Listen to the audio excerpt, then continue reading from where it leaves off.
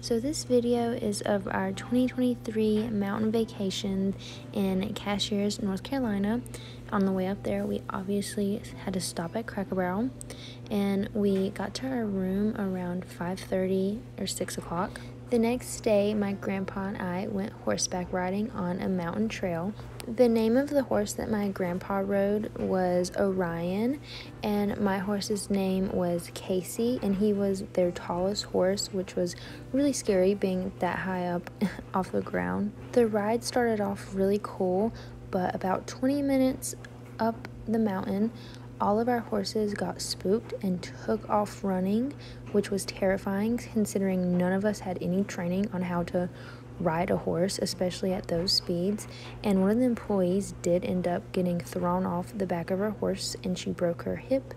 And we had to wait for a tractor to come up the mountain to get her, which was very scary, a little traumatizing, and I probably won't never ride a horse again. After that crazy experience, my grandpa and I drove up the mountain a few miles to go see this waterfall.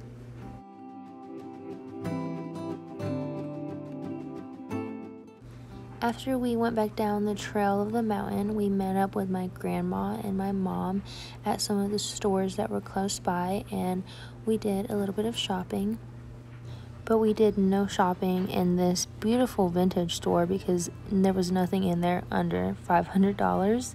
This is where we ate dinner at, and it was so good. I really love this place. After dinner, we rode around the mountain and we saw this little pull off area that had a trail that led to a waterfall. So, me and my grandpa decided to walk down to it, and it was really pretty. And there were a lot of people that were actually in the water, and I decided to get in there too. And it was freezing cold, and I ended up stepping on a thorn, and it stabbed my heel, and we just yanked it out. My foot is sore today, but I'm okay. On Sunday, we met with my Uncle Rainer and ate lunch with him. He lives up in Asheville, so it only made sense to go see him while we were here in the mountains. We ate at Sagebrush Steakhouse. Um, out of a 10, I would rate it a 2. It just wasn't that good. But then after dinner, we were driving in this cute little town and we saw a Christmas store and we had to go in. And this town was so cute and historic. And we went in another vintage store that was downtown. It was really cute but also really expensive, so we didn't stay in there for long. And the last thing that we did was drive around Glenville Lake.